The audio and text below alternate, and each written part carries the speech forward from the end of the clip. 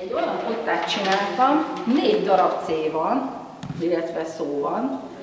Egy, két, három, négy darab zöld, majd még egy zöld. Én vagyok a papos zöld, és van egy piros.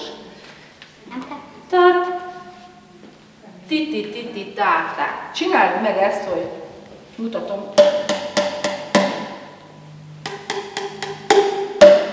Pestipus Adrien elmondta, a napközi újdonságnak számít Bonyhádon. Egy olyan napközivel készült a művelődési központ, ami hét alkalommal kerül megrendezésre, minden kedden, a mai naptól, tehát július 9-től egészen augusztus 27-éig, kivéve az augusztus 20-ai napot, de minden kedden egy és fél öt között várjuk a gyerekeket.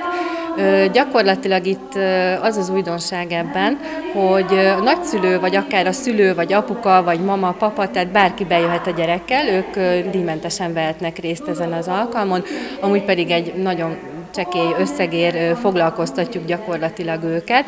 Nagyon sok kézműves foglalkozással készülünk, nagy mozgásos játékokkal, hogyha kisebbek érkeznek esetleg, akkor szönyeggel is, vagy azon való játékfoglalkozásokat is tudunk nekik tartani.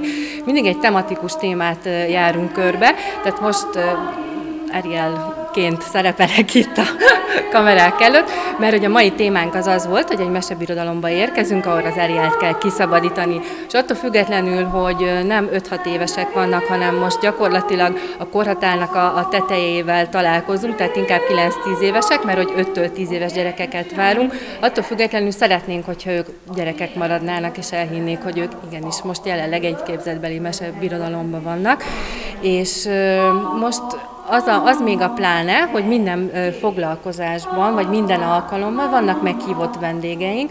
Most jelenleg Ferenc Orsolya van nálunk, aki a Réce Tojás zenés műsorával készült, úgyhogy a háttérben őket lehet, vagy őt lehet most hallani. Szerettünk volna a gyerekek részére mindenképpen biztosítani egy programot, viszont azt elmondható, hogy Bonyhádon nagyon jó táborok vannak, tehát az iskolák nagyon felkészültek, a helyi könyvtár is nagyon jó táborokkal készül. Nem szerettünk volna, a múzeum is nagyon jó táborokat szokott tartani, nem szerettünk volna ebbe beleavatkozni, hanem kerestünk egy olyan részt, ahol mi is be tudunk csatlakozni, így hetente egyszer van egy délutánunk, ahová el lehet jönni, és mivel igenis viszonylag problémának nevezhető, hogy a nagyszülőkhöz vannak ugye a gyerekek kiküldetésbe, ezért arra gondoltunk, hogy ők is tudjanak eljönni, hogy legyen egy plusz foglalkozás, ahol akár itt tud maradni, vagy esetleg el is tud menni egy órára, akkor is biztonságos környezetben van, foglalkoztatjuk.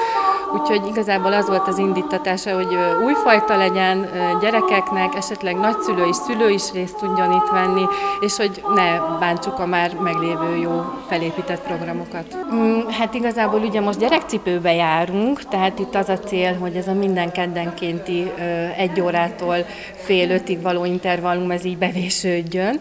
Tehát a jelenlegi érdeklődés volt, aki jelezte, hogy szeretne eljönni, meg biztosan itt lesz, és mégis sajnos nem tudott eljönni. Igazából ez a 20 fő az a, az a, az a maximum, tehát gyakorlatilag helybe is, meg foglalkozásba, figyelembe is igazából ennél több gyerekkel, hogyha jönnek, akkor tudjuk foglalkoztatni, de hogy igazából ez a, ez a, ez a cél. Úgyhogy a szülők szerintem, hogyha ezt jobban tudatosul, marketinggel azért megpróbáljuk eléggé támogatni, ugye nagyon sok helyen kiplakátoztuk meg, meg hát nem csak plakátozott, tehát hogy hirdetjük ugye a foglalkozást, tehát reméljük, hogy ez így be fog ivódni itt a helyi és esetleg a környékbeli emberek tudatába, és akkor még többen fognak jönni.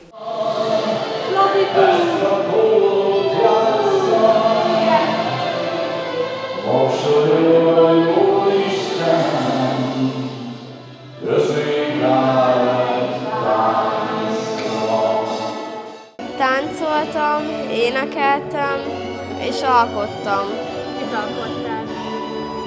Hát uh, alkottam egy távcsőt. És azt hogyan készítetted el? Hát kell hozzá egy WC guriga, és kell hozzá még egy uh, három fehér csík, papírcsík, és bármilyen másik színű csík. Tehát ugyanolyan. Alkottam, csak én nem szeretek táncolni se énekelni, ezért nem csináltam most semmit, csak rajzoltam és színeztem.